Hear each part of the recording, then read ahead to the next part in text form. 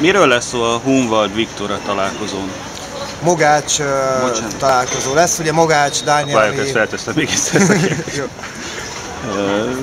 Miről lesz szó a Hunvard Mogács Dániel találkozón?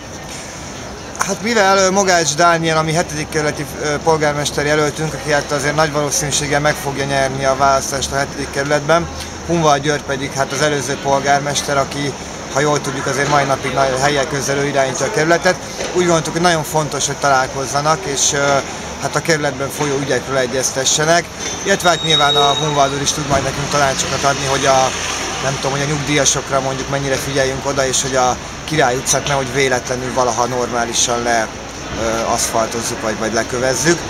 Úgyhogy azt hiszem, hogy hétfőn, de valamikor jövő héten mindenképp sor kerül egy találkozóra, ahol, ahol a jelöltünk akkor Hunvald úrral egyeztetni fog.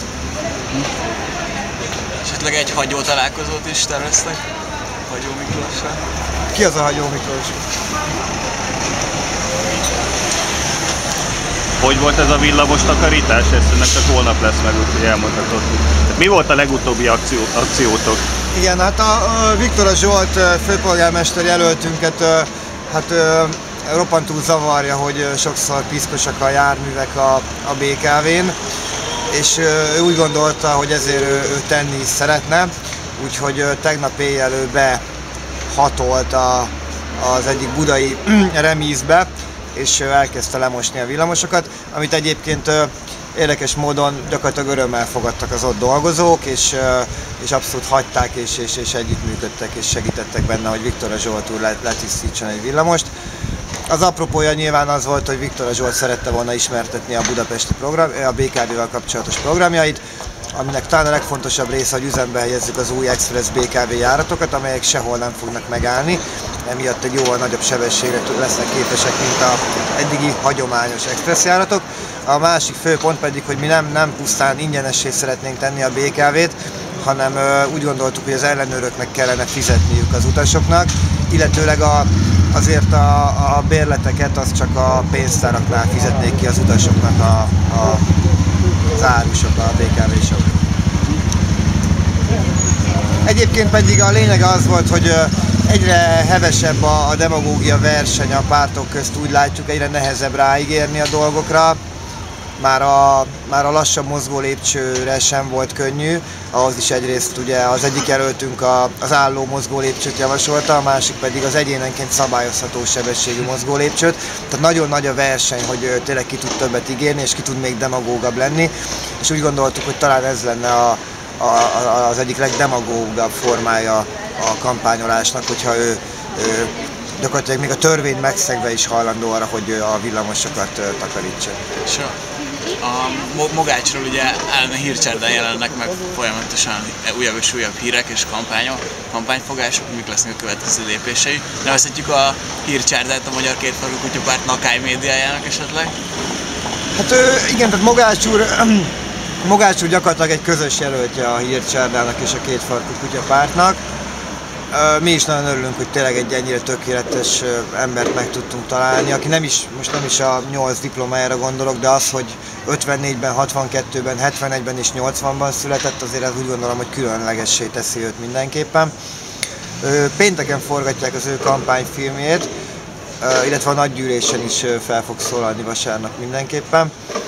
Ő valószínűleg megígér, megígér még több dolgot. A, a, a, a, ezek a, a romkocsmek mintájára a romovodák és a rom, rom önkormányzat felépítése és bevezetése az valószínűleg egy elengedhetetlen pontja lesz az ő kampányának továbbra is.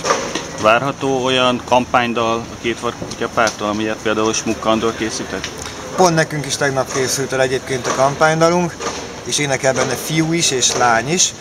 Uh, valószínűleg ma elkészül a videó, és akkor ezt, ezt mi is feltesszük. Hát nyilván kampánydal nélkül nem, nem kampány. Egy kampány sokszor benne van a két farkuszó, és fülbemászó refrénye van.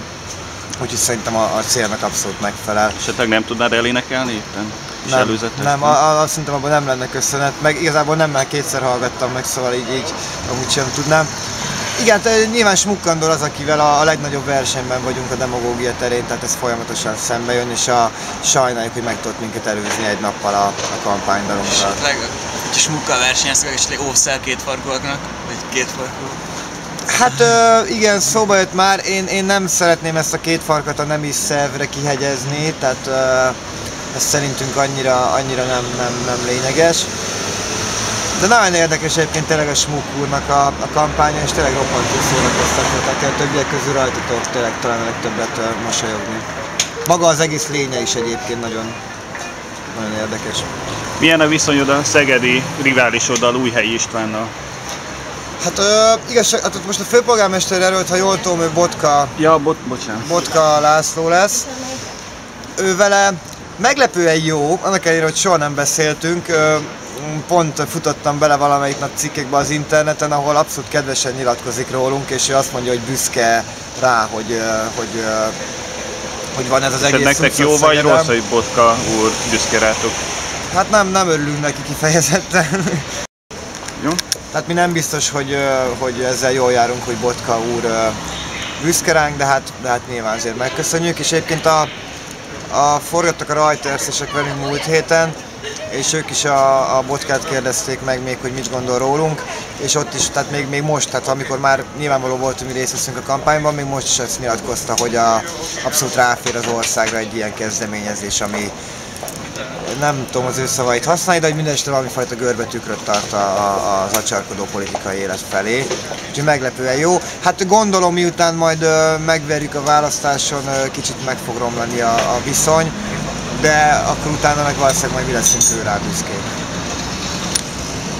Még az interjú előtt, amikor találkoztunk, egyből a Mandiner kommentelőit említetted, hogy nem igen lájkolnak titeket. Tudnál valamit üzenni? ne- Igen? Hát egyrészt köszönjük nekik nagyon szépen, hogy olvassák a mandiner.hu-t, másrészt megígérjük, hogyha minket választanak főpolgármesternek, akkor mindenképpen ingyenessé fogjuk tenni a mandinert mindenki számára, valószínűleg a határon túli magyarok számára is. Köszönjük szépen. Köszönöm én is.